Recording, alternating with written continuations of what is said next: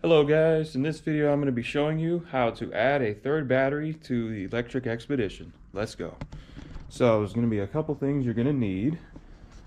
First is a battery plate like this. You're going to need obviously a third battery.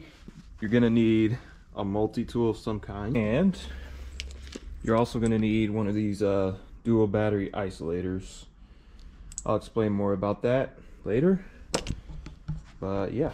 Now for the purpose of this video, I'm not going to take any of this off because it frankly it did take me quite a bit of time to put it on so I'm just going to leave it on and just show you what I did.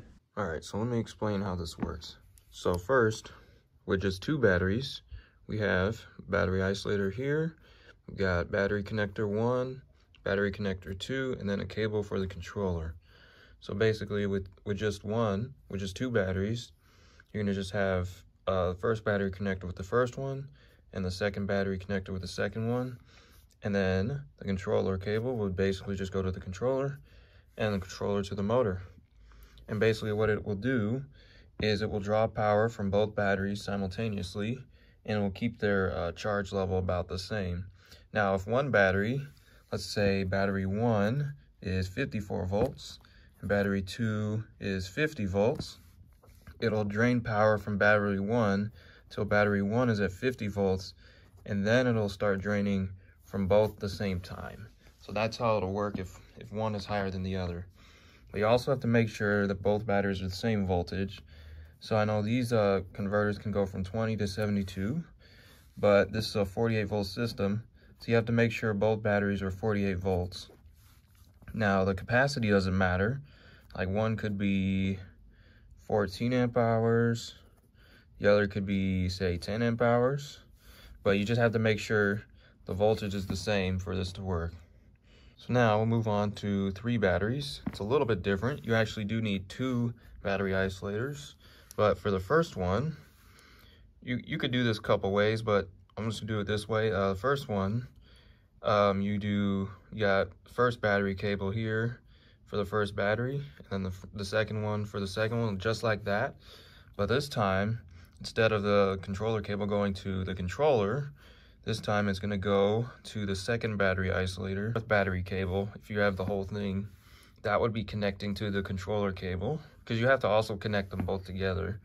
And then you've got battery uh, cable three that's going to the third battery. That's where you hook up the third one.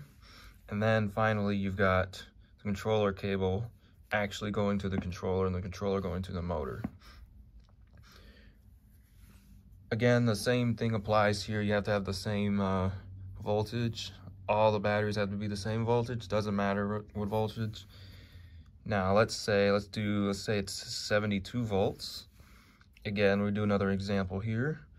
Let's say um, number one is 78 volts Number two is 72 volts. Number three is like 68 volts, I guess. Again, it'll draw from the first one all the way down to 72. Then it'll draw from both from 72 down to 68. And then it will finally draw from all three. And that's how that's how it'll go. Thing we're going to talk about is voltage sag. So let's say we have one battery, let's say it's 48 volts, which is the batteries we're going to be using. So let's say at um, 50 volts, we're going to say 50 volts. Let's say it has a voltage sag, it goes down, you full throttle it, it goes down to 47 volts. All right, that could be just for one. Now, the more batteries you have, the lower the volt, the the lower the voltage sag overall. So this was three volts. So let's say we have 50 volts for the whole thing, and let's say it only sags like 2 volts now, maybe. Again, it, it varies depending on how much current is going through it, how much, like how much is full throttle, and we're going to be assuming uh, the controller's pulling 20 amps. So this is just an example. I'm not sure how accurate this is, but I hope it gets the point across. But let's say you have two batteries, you're going to 48 volts now. Now, let's say we had a third battery. Maybe now it's going to um, let's say 40 and a half volts. So those are just some examples. Now, where, where is this useful? How is this useful? Well, here's how. So let's say you're almost, the bike's almost dead, right? The cutoff is gonna be 39 volts for 40, 48 volt because it's 13 cells and it's three volts per cell. So 39 volts is the cutoff. Now, if you only have one battery on there, and you can basically only get down to 42 volts before you wouldn't be able to full throttle, It'd probably be slower. Then you'd have less overall capacity. Now, if you have two batteries, you can go down to 43, or 41, sorry, 41 volts. And then if you have three batteries, you can go down all the way to 40 or 40 and a half volts. Then it would finally give out. But basically, you can extend your range because you have more usable capacity. Now, and that, that brings up another thing. Um, what's better? A 48 volt, let's say 60 amp hour battery, or three 48 volt 20 amp hour batteries. Well, that you would think they'd be exactly the same, but for the reason I mentioned, the three uh, 20 amp hour batteries are gonna have more capacity because this is gonna have way more voltage sag. Let's say it's at 50 volts, full throttle, it goes down to 45 volts, five volts. And then this probably won't have as much because three batteries are pulling for just one. And they're all they're all pulling way less current. So you probably only get like 47, sorry, 47 volts or something. So you'd be able to use more capacity. And once that, of course, drains, that's gonna be, it's gonna be 44 volts by the time this thing is gonna slow down. But this would be like 42 volts. So you have a little bit more capacity left that you could use, if that makes sense. But three batteries is usually gonna be better than uh, one with the same capacity for this very reason. So I just thought I should mention it. So how does this impact range? So let's say one uh, 20 amp hour battery gets you 30 miles range full throttle. And so if you add a second one, you're at least gonna get 60. Probably get more because of the same reasoning of this. So you probably get about 65, 70 maybe. Now if you have three of them, you go from 30, you get three of them, you get 90, probably close to 100 for that reason.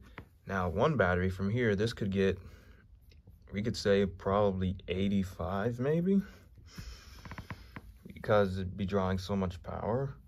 But you're not, you're usually gonna get more out of three batteries than out of one. Doubling or tripling the number of batteries you have will likely more than double or triple the range. You might get a little bit more out of those batteries especially at lower voltages for the same reasons. So now we'll get back to the bike. All right, so let's go to the bike. It's not gonna be very easy to see, but as you can see, I've got one right here. It's a battery plate here. These two battery plates come stock with the thing. And there is another uh, discharger inside here. I just didn't want to, I couldn't get it out. it was hard to get it out. So I didn't want to like disassemble it and then put it back in again. So that's why I left it on here.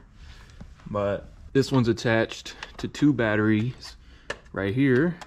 And this one is attaching to the one inside here. And then that one's attached to the controller. You can't really see it. I'm sorry about that, but I just didn't want to take it all off because it was hard. But uh, basically just zip tied it to there I took off the original bolts here and then just bolted one on there so it would be easy to mount it. I also tried mounting it here, but I didn't like it because it got in the way of how I was getting on the bike and whatnot. So I just mounted it back here. Now I'm going to show you um, how to put them on. And I'm going to show you that if they work or not, which they will. Here's how to show you, how to show if they do work or not. So basically what you're going to do, just going to stick one battery in, turn it on. All right, turning on. Then you turn it off. And moving my keys.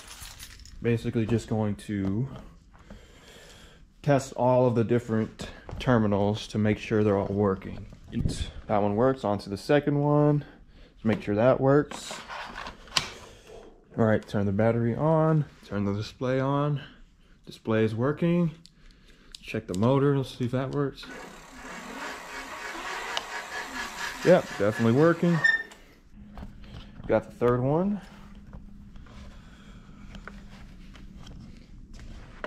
Slide it in like this. Just kind of got stuck.